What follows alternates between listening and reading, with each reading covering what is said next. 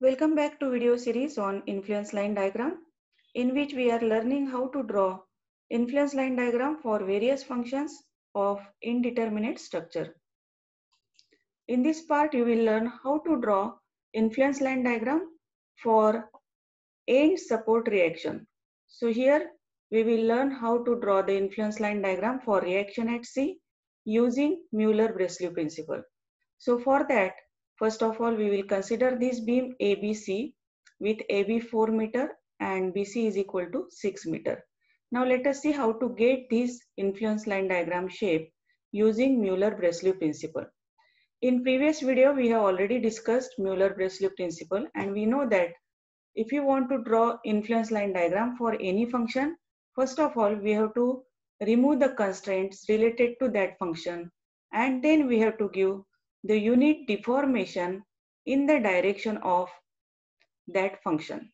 And whatever deflected shape we get, that shape itself represent the influence line diagram for that function. So initially we don't know what is the force required to make this ordinate equal to 1 and therefore initially instead of applying unit deformation we apply unit force. So let us see how to solve this. So this is the given beam for which we have to draw influence line diagram for RC.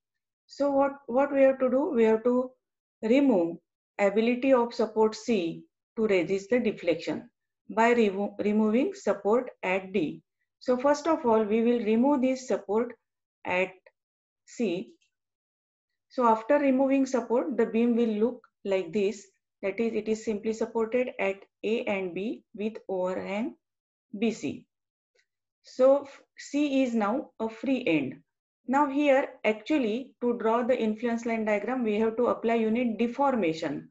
That means we have to make one ordinate here of influence line diagram.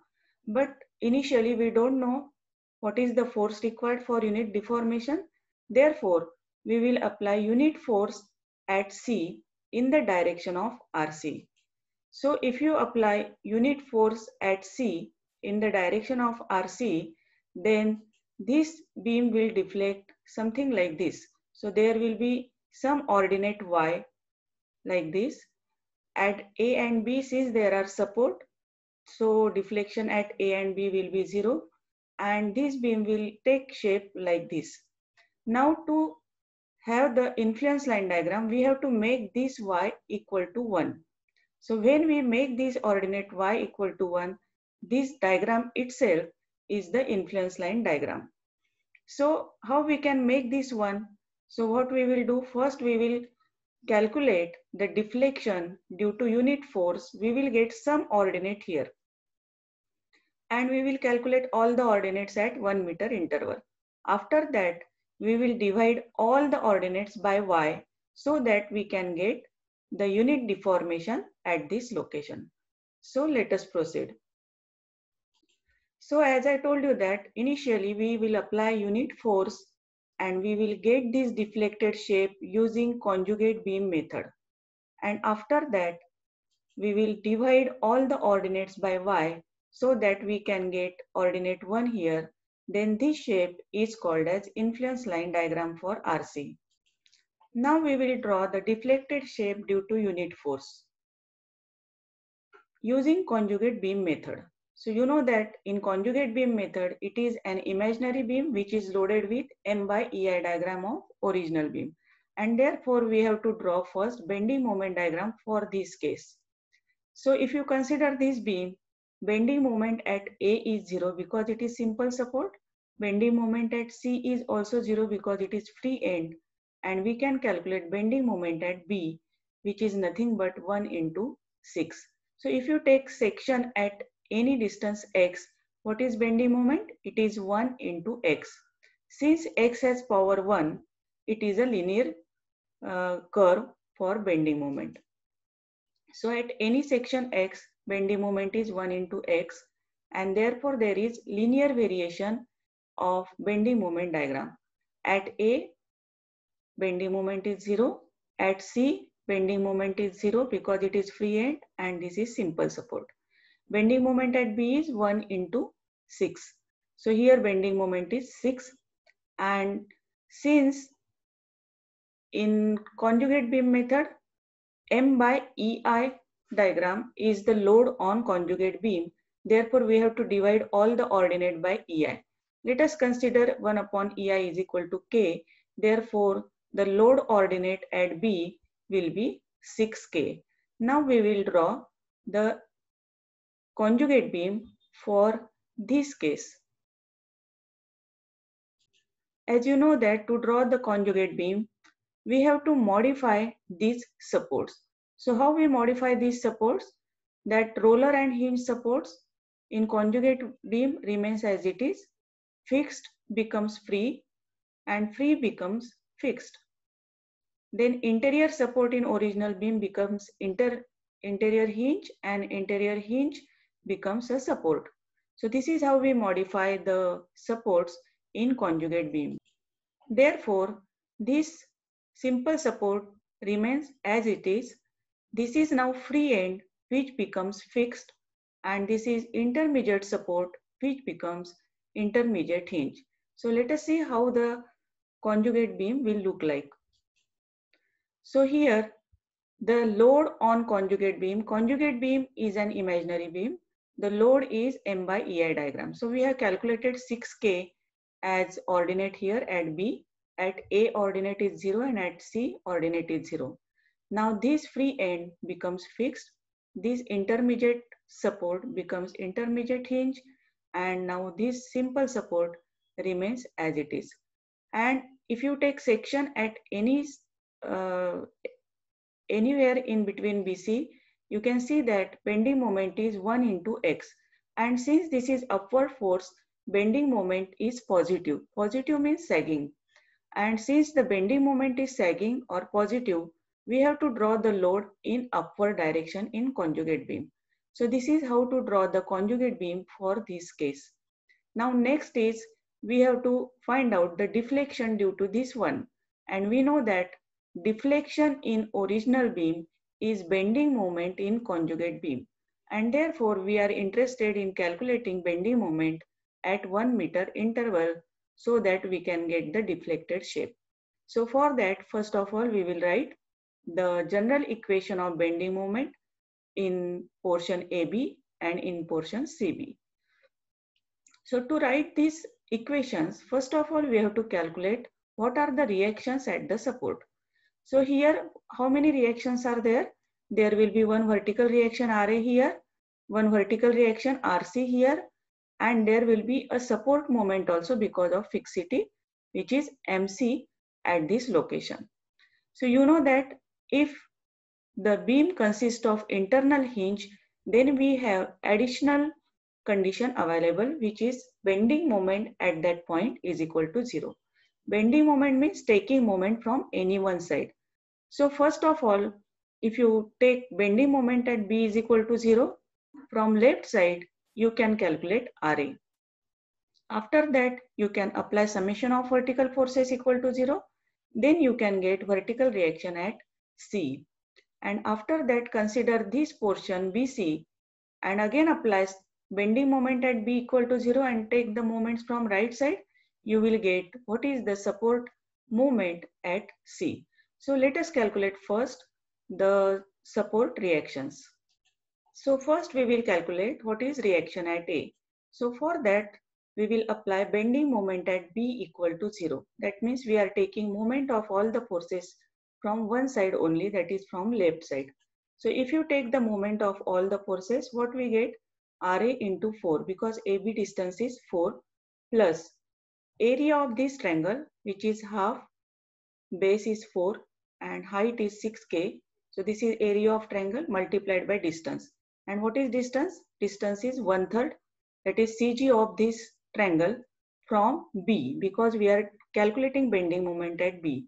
So if you apply this, you will get RA as negative and therefore it is downward. So we get value of RA is equal to 4K. Next step is to apply vertical summation of vertical forces equal to 0 and calculate vertical reaction at C. So if you apply the condition summation of vertical forces equal to 0 to this complete beam ABC, what we get? We get RA plus RC plus this triangular load is equal to 0. And what is this triangular load? It is half. This is 10 meter and this height is 6K. So this is the total load on this beam. So if you apply summation of vertical forces equal to 0, you will get reaction at C is equal to 26K, which is also negative, therefore it is downward. So we have calculated reaction at A and reaction at C. Now we will calculate what is support moment at C by considering bending moment at B equal to 0 and considering portion BC. So now if you apply the condition bending moment at B is equal to 0 and if you consider this portion CB, what are the forces which contribute to bending moment?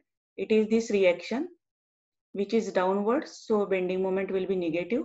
We are considering this direction so it will be positive because it is similar to the moment of vertically upward forces and then moment due to this triangle and equate it to zero.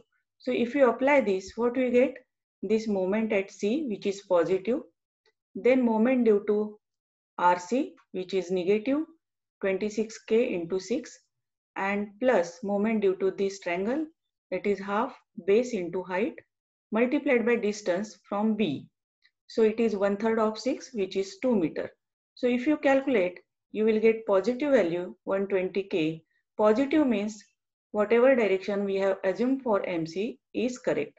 So finally we get all the reactions that is RA, RC and support moment at C.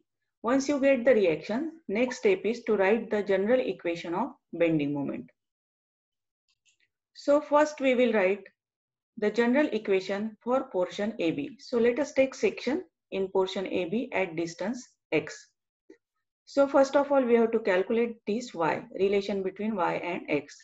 So if you write, you will get y upon x is equal to 6k upon 4 because this AB distance is 4 meter. So from this you get y is equal to 3 by 2 kx. Now we will write the general equation of bending moment in this portion. So what is bending moment at any distance x? It is reaction, reaction is downward. So minus 4k is the reaction into x plus area of this triangle. Area of triangle is half x into y.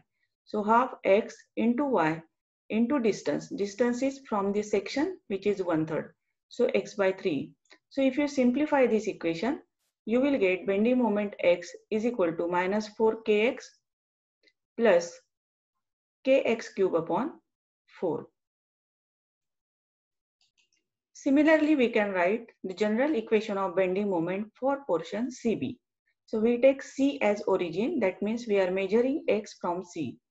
So what are the uh, forces which contribute to bending moment? It is this moment, this force reaction and this force. So again we will write y upon x is equal to 6k upon 6 and therefore we get y is equal to kx. And if you write bending moment equation, it is 120 we are taking positive because its direction is similar to the moment due to vertically upward forces. So it is positive 120 minus 26k into x and plus moment due to this. And what is the moment due to this? Area of triangle multiplied by CG, distance of CG.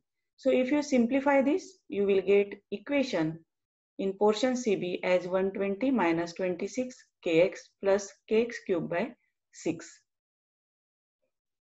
So now we have derived the general equation of bending moment for portion AB and general equation of bending moment for portion CB. So next is substitute, take the sections at 1 meter interval and if you substitute the value of x, you will get deflection due to this unit force you will get some ordinate here y. So next step is substitute value of x 1 meter, 2 meter, 3 meter, 4 meter, etc. for portion AB and from 1 to 6 for portion CB and get this deflected shape due to unit force. So we will solve this in tabular form. So in the equation of portion AB, taking origin as A we will write the equation uh, distances 1 meter, 2 meter, 3 meter and 4 meter. And if you solve this equation, you will get bending moment ordinate is equal to this. And these ordinates are nothing but the deflected shape for portion AB. We are getting negative value that means that shape is below the line. Similarly, we can consider portion CB and remember that we have taken origin at C. That means we are measuring distances from C. And then if you substitute this in the equation of CB, you will get all these ordinates and these ordinates are positive. Therefore, they are above the line. And now what is the ordinate at C? At C, it is 120K. So we have to make this ordinate equal to 1 and therefore we will divide all these ordinates by 120k so that we can get unit ordinate here. So unit deform when we make this as unit deformation, that shape is called as influence line diagram. So if you divide all the ordinates by 120k, what we get? We get all these ordinates after dividing this column by 120k. So these are nothing but the ordinates of influence line diagram for RC. Now we will plot this influence line diagram. Once you calculate all the ordinates, draw the ordinates at respective location and then complete this diagram. So this part is negative and this part is positive. What does it mean? It means that when the load is between A to B, then reaction at C is downward. When the load is in between B to C, then reaction at C will be upward. And suppose if you want to calculate what is reaction at C, if there is some load of 10 kilonewton at center of AB, then 10 multiplied by this ordinate, you will get this reaction, which will be negative, that means downward. If you calculate what is the reaction at C, if the load is in between BC, then this load multiplied by respective ordinate, you will get reaction at C. So that is the use of influence line diagram. So from this, we can conclude that when the load is between A to B, reaction at C is downward. When the load is between B to C, reaction at C is upward. And to get the maximum value of upward reaction, we don't have to put any load on portion AB, otherwise we, we could not get the maximum value. To get the maximum upward value, we have to put the load between B to C only. And if you want to know what is the uplifting force at C, then put the load on portion AB only. So this is how we draw the influence line diagram for reaction at C. I hope you will find this video useful. So to stay connected, subscribe to the channel and press bell icon to get notification of upcoming videos. Thank you for watching this video.